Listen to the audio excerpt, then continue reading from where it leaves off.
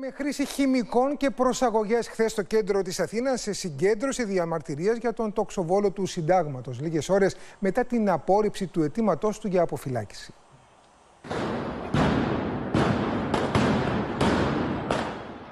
Ένταση και επεισόδια στη συγκέντρωση διαμαρτυρίας που έγινε στα προπήλαια για τον τοξοβόλο του συντάγματος, ο οποίος εδώ και 67 μέρες κάνει απεργία πείνας.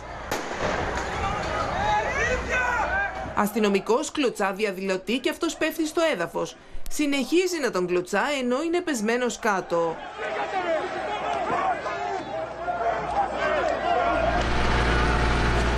Την ώρα που άνδρες των ΜΑΤ έχουν περάσει χειροπέδες σε διαδηλωτή και τον μεταφέρουν στο περιπολικό, συνάδελφός τους τον χτυπά με μπουνιά στο πρόσωπο.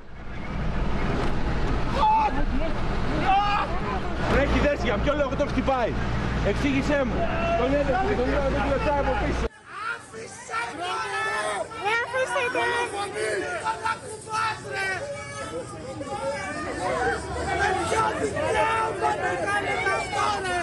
Για αυτές τις εικόνες που δείχνουν αστυνομικούς να βιοπραγούν σε βάρος των διαδηλωτών, από την ελληνική αστυνομία διατάχθηκε ένορκη διοικητική εξέταση, ενώ δόθηκε εντολή οι εμπλεκόμενοι αστυνομικοί να απομακρυνθούν από τις υπηρεσίες τους μέχρι να ολοκληρωθεί η έρευνα.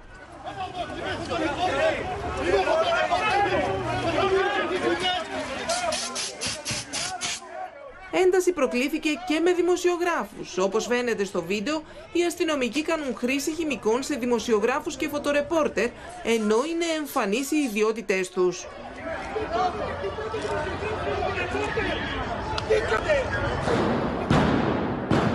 Η ένταση ξεκίνησε όταν διαδηλωτές πέταξαν αντικείμενα προς το μέρος των αστυνομικών και αυτοί απάντησαν κάνοντας χρήση χημικών και χειροβομβίδων κρότου λάμψης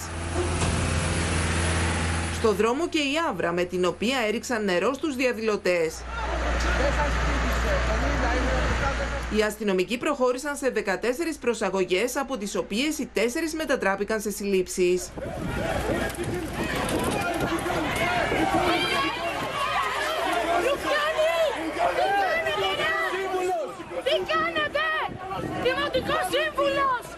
Σύμφωνα με την ανακοίνωση της αστυνομίας, από τα επεισόδια τραυματίστηκε και ο αξιωματικός επικεφαλής των μέτρων τάξης.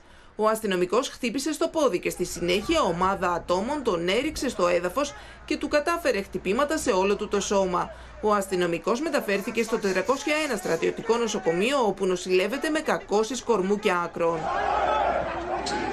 Η πορεία πραγματοποιήθηκε λίγες ώρες αφότου το Συμβούλιο Εφετών Λαμίας απέρριψε το αίτημα αποφυλάκησης του Γιάννη Μιχαηλίδη την ώρα που η υγεία του έπειτα από 67 μέρες απεργίας πείνας έχει παρουσιάσει ραγδαία επιδείνωση και διατρέχει κίνδυνο.